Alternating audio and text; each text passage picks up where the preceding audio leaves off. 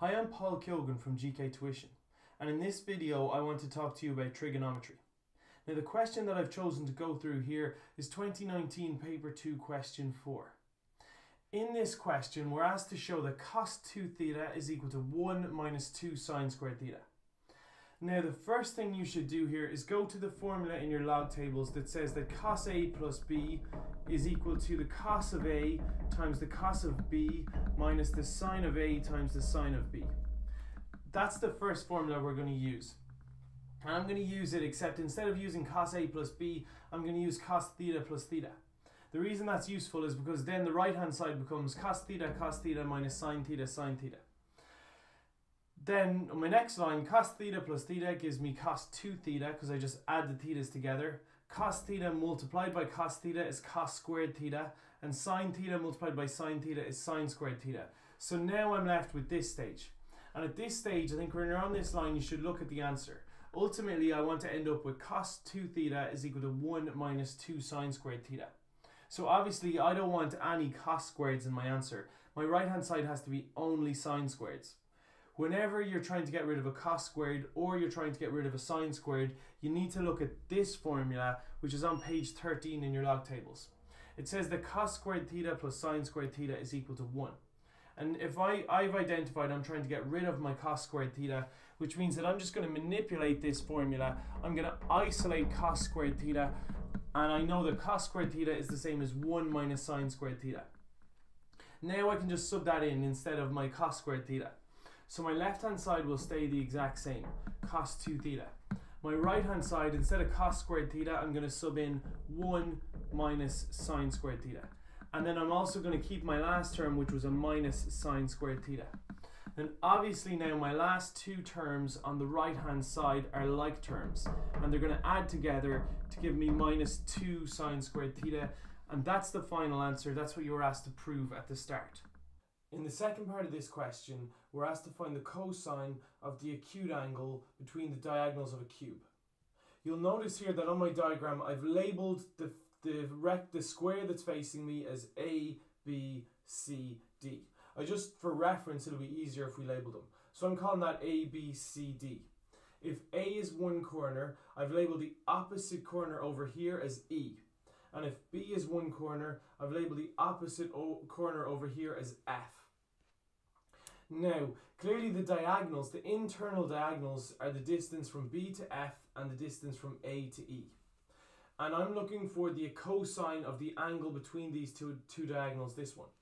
So obviously the first thing I need to do is I need to try and figure out what the diagonal, the distance from A to E is, or the distance from B to F is. Our obvious problem here is we don't have any lengths or any distances whatsoever.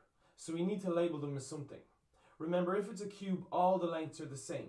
I could say the distance from A to B is x, the distance from B to D is x, D to C is x, A to C, all of those, all the sides are x, are the distance x. That's our starting point because we need to start off with something.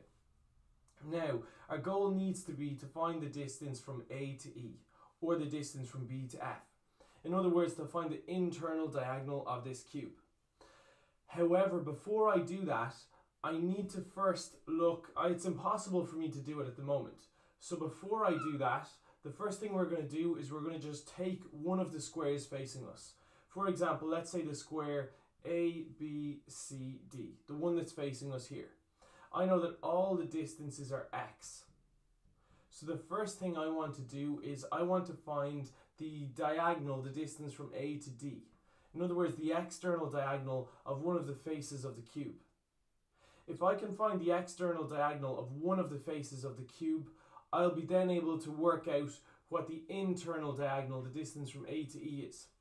So the first thing I want to do is I'm going to wipe out this diagram and we're just going to take the square ABCD and we're going to try and find the, the, the external diagonal or in other words the distance from A to D. Okay, it's relatively straightforward to find in terms of x, the distance from A to D. If I've labelled AB as x and I've labelled BD as x, you should view the triangle ABD as a right angle triangle. If you know two sides in a right angle triangle, you can use Pythagoras theorem to find the third side. So that's what I did here. I said that AD squared, which is the hypotenuse, is equal to x squared plus x squared. In other words, the, this hypotenuse squared is equal to that side squared plus that side squared. And if you simplify this down, you just end up with AD is equal to the square root of 2 times x. With that in mind, let's go back to our original diagram and figure out how can we find the internal diagonal AE. Okay, just remember our goal is to find the angle between the two diagonals. The diagonals being the distance from A to E and the distance from B to F. Now what we worked out what we worked out previously is we worked out the external diagonal. In other words, the external diagonal, don't think of the 3D shape at all, just think of the square that's facing us. The square ABCD. The square facing us, the external diagonal we've worked out is the square root of 2. I want you to realize that that is the external diagonal of all the faces of this square.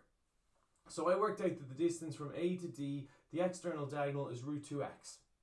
So by extension, I could also say, I want you to view the square on the bottom. I've labeled this as B, this is D, this is E, and I suppose we could label that as G. The square on the bottom is BGDE. Okay?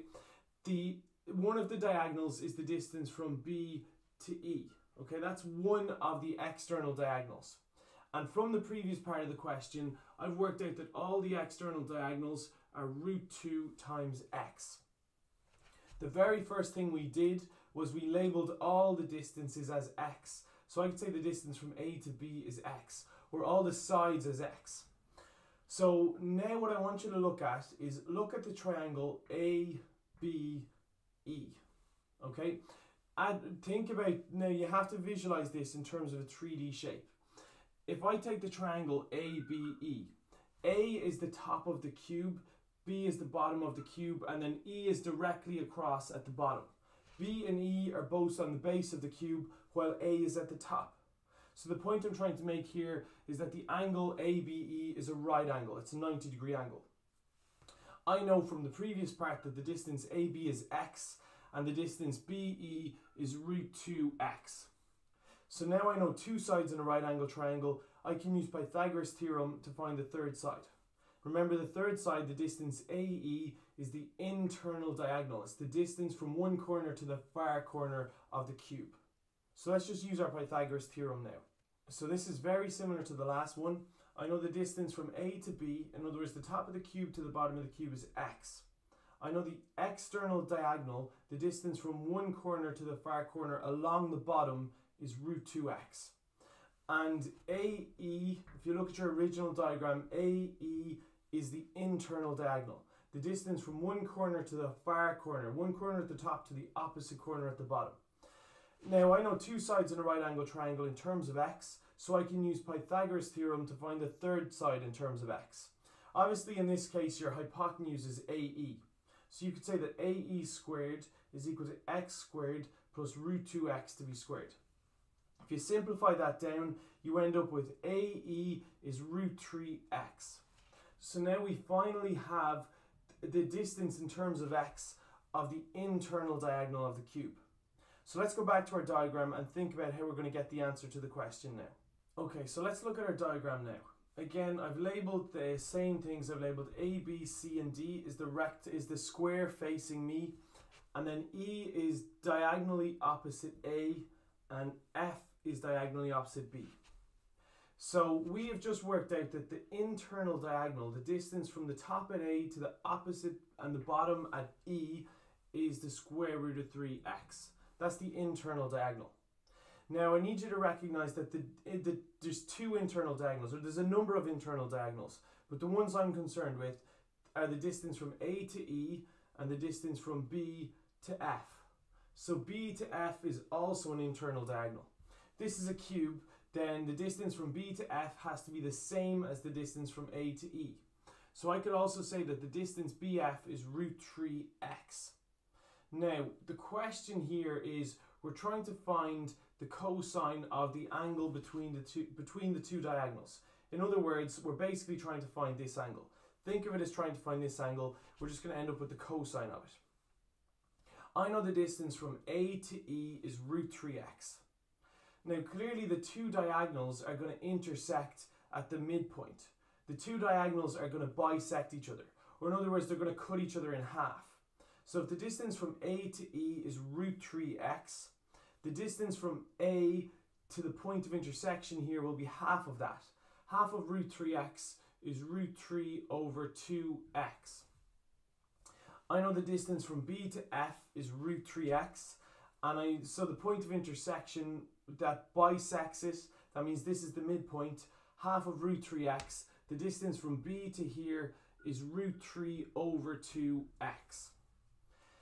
The very, very first thing we said was the distance from A to B is x. So I want you to look at this now. What we're concerned with now is just a triangle. Let's label this point of intersection as O. Okay? And look at the triangle ABO. I know all three sides of this triangle in terms of x. If you know the three sides of a triangle, you can use the cosine rule to find the angle. So we're going to use the cosine rule to find the cos of this angle. Okay, so we've boiled it down to the triangle ABO, where I've labeled A as the top of the cube and B is directly below it at the bottom. So the distance from A to B, we're calling each one of those distances x. And O is the point of intersection of the two diagonals, the point of intersection of the diagonals that we've worked out. So I know the distance from A to O is root 3 over 2x, and from B to O is root 3 over 2x. So you should recognize you have three sides in a non-right angle triangle. If you have three sides in a non-right angle triangle, you can use the cosine rule in order to work out the cos of the angle.